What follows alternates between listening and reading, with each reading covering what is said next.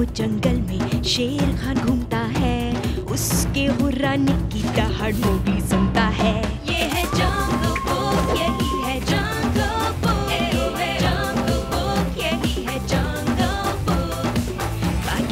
और बलू अपने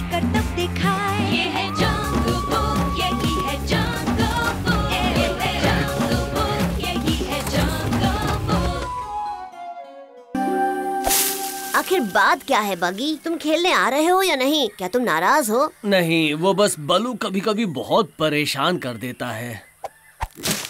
ओ वो हमेशा गुरु वाली बातें करता रहता है पर कोई फ़र्क नहीं पड़ता। हाँ उसकी हिम्मत तो देखो मुझे कहता कि मैं आलसी हूँ जबकि वो सारा दिन सोता रहता है। इतनी सी बात पे नाराज़ हो वो मुझे हमेशा कहता रहता है। तुम्हें थोड़ा जिमसन वीड लगाना चाहिए क्योंकि वो पीली पूंछ वाला कीड़ा जो जंगल में फैल रहा है तुम्हारी त्वचा के लिए बहुत बुरा है इंसान के बच्चे। तुम उसकी बहुत अच्छी नकल कर लेते हो। ये लो जरा इसकी शानदार खुशबू तो सूंघो। यक बहुत बदबूदार है। ओ, ओ, ओ! क्या ये सच है कि बलू अपनी फ्रेंड से मिलने गया है? क्योंकि उसे दोस्त मिल गई है। अच्छा कहीं वो मोटी भालू तो नहीं जिसका नाम बेला है हाँ? क्या तुम्हें लगता है कि वो एक दूसरे को झप्पियाँ देते होंगे? क्या तुमने कुछ सुना? नहीं मुझे क्या सुनना चाहिए? आम तौर पर हमें रेंगने गुर्राने की आवाज़ सुनाई देती है लेकिन अब कुछ नहीं। बिना शोर के जंगल कुछ ठीक नहीं लग रहा। चलो। हे राना ये ये सोने का वक्त नहीं है। राना इसमें आम सी बदबू नहीं आ रही। तुम्हारा मतलब उसकी बदबू अब बेहतर हो गई है। अगर तुम्हें लगता है ये बदबू अच्छी है तो हाँ ये बदबू बेहतर हो गई है। सब कुछ अब भी बहुत शांत है। चलो हम चलकर बल्लू को ढूंढते हैं। बलू बलू हाँ लगता है वो कहीं काम में है। चलो इसी बहाने वो हमें परेशान तो नहीं करेगा। सही कहा। उसके बिना ही पता लगाते हैं कि क्या हो रहा है। हाँ, तुमने सुना जंगल में इस वक्त कोई शोर कर रहा है। क्या हुआ? क्या तुमने उसे बेहोश किया फूला नहीं मैंने कुछ भी नहीं किया। मैं इस बुद्धू से भागने के लिए पेड़ से नीचे उतर आई और मैंने पावो को इस हालत में पाया। इसे उठाना तो मुमकिन नहीं। मैं उससे परेशान नहीं बात कर रहा था। इसमें से भी धुएँ की बदबू आ रही है बिल्कुल राणा की तरह। उसे शांति से मरने दो अकेला छोड़ दो। वो मर नहीं रहा वो मोगली वो ठीक हो जाएगा है ना? हाँ बिल्कुल मीना। वो बस बहुत थका हुआ है इतनी सी बात तुम है। एक असली मोर पर भरोसा करना चाहिए था। जो ताकतवर हो ज़िंदा दिल हो और खूबसूरत भी हो। ये हमने जंगल में दूसरी बार देखा है। ये बहुत अजीब है। हम पेड़ पर थे और हम जगे हुए हैं। इसका साफ़ मतलब ये होता है कि जो भी ज़मीन पर था वो धुएँ का शिकार बन गया। लेकिन किसका मैं नहीं जानता लेकिन चलो बगीरा हम चलकर पता लगाते हैं। कोई जल्दी नहीं है। मीना और मुझे कुछ बात भी करनी है। प्लीज़ जल्दी करना मोगली। ये क्या है? शायद ये बलू हो। ये है हमारे जानी दुश्मन। हाँ ये वही धुएँ की बदबू है। मुझे यकीन है ये तुम्हारे बारे में ही बात कर रहे थे।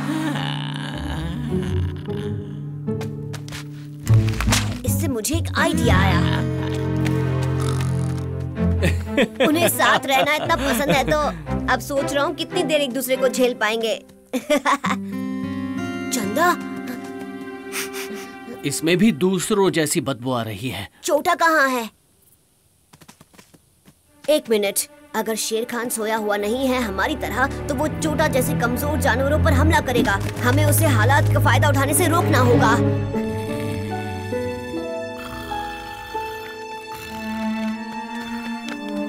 अगर वो सो रहा होगा तो बहुत ही अच्छा होगा। हाँ, मुझे लगा शेर खान है। इसमें से भी बाकियों की तरह बदबू आ रही है। तुम्हें क्या हुआ डार्जी? शायद अपने पंख हिलाना भूल गई होगी और क्या? मैं तुम सोए नहीं हो? मैंने यहाँ बहुत सारे जानवरों को सोते हुए देखा। क्या तुमने कहीं शेर खान को देखा है? हाँ नहीं हाँ हाँ वो चल रहा था। मुझे याद नहीं कहाँ पर। पहाड़ी पर जाने दो वो सो नहीं रहा था। ये सही लग रहा है। वो ऊंचाई पर था और उस पर कोई असर नहीं हुआ होगा। हमें इस रहस्य को सुलझाना होगा। इससे पहले शेर खान सबको मारना शुरू करे। क्या तुम्हें दिखाई दे रहा है? धुआँ कहाँ से आ रहा है? देखो तुम इस आलसी मोर के साथ क्या कर रही हो जो इतना ढीला है? इसमें उसकी कोई गलती नहीं। ओ अच्छा मैं तीन तक गिनूँगा। वो नहीं उठा तो मैं दोस्ती की छप्पी दूँगा। तुम मज़ाक कर रहे होगे। दो तीन। हो गया। आजा। उसने अपना मौका खो दिया। अब वक्त है झप्पी का। हाँ? बस एक मीना झप्पी दे दो। बस एक झप्पी।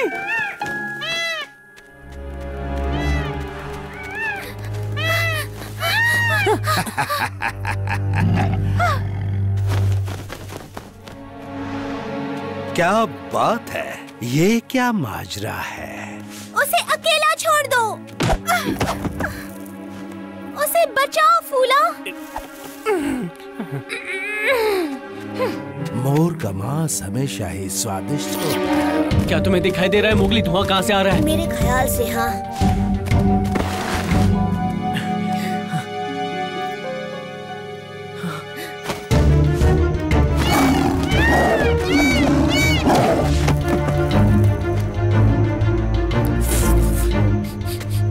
इस मोर को हुआ क्या है?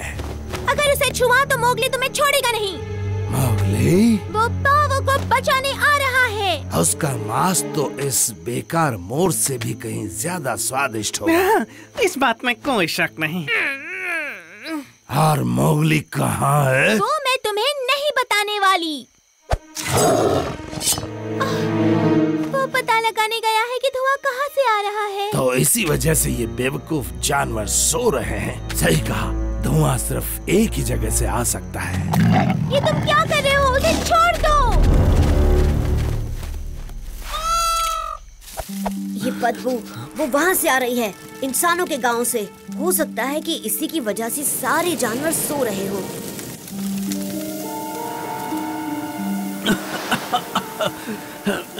लगता है ये धुआँ मेरी नाक में चला गया है।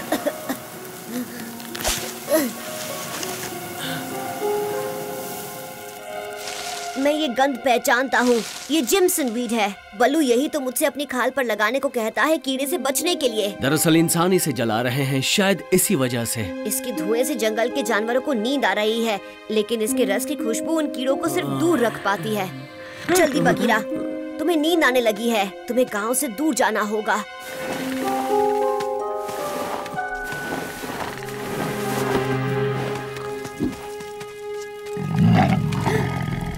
बताओ इंसान के बच्चे क्या तुम्हें पता चला धुआँ कहाँ से आ रहा है? हाँ और तुमने पता लगा लिया कि सोते हुए जानवरों को कैसे मारना है कितने बहादुर हो। ऐसा लगता है कि तुम्हारे दोस्त बघीरा की तबीयत भी कुछ ठीक नहीं है। तुम्हें बचाने के लिए उसे बहुत मेहनत करनी है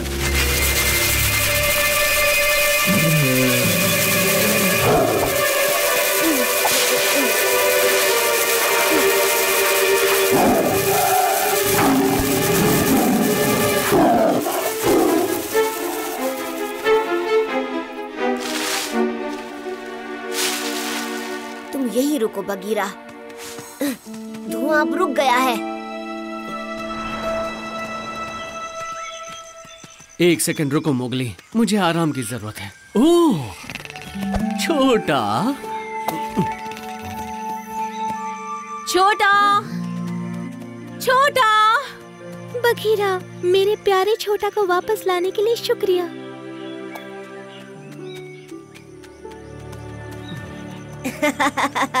अब सिर्फ़ बल्लू की ही बेस्ट फ्रेंड नहीं है। हाँ अब मेरी भी है।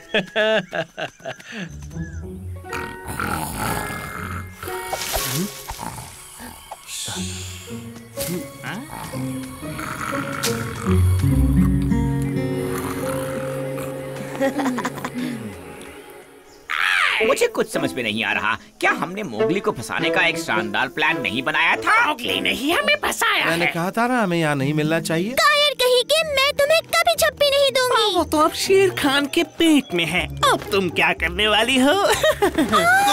सरप्राइज़ अच्छा हुआ तुम आ गए। मीना तो मुझे अकेला ही नहीं छोड़ रही थी। अच्छा आइडिया है। पता नहीं वो कीड़े कब वापस आ जाएँ। मैंने रंगू से कह दिया है। वो इंसानों के गाँव के नज़दीक रहता है कि जैसे ही उसे आग दिखे हमें खबर कर दे। धुआँ दिखाई पड़ते ही सबको या तो पेड़ पर चढ़ जाना है या चले जाना है। इस तरह कोई भी नहीं सोएगा। क्या हुआ तुम्हें बलू? कुछ नहीं। असल में बात यह है कि किसी ने मेरे पंजों में फूल रख दिए। तो क्या उसे वो पसंद नहीं आए? नहीं उसे फूलों से एलर्जी है।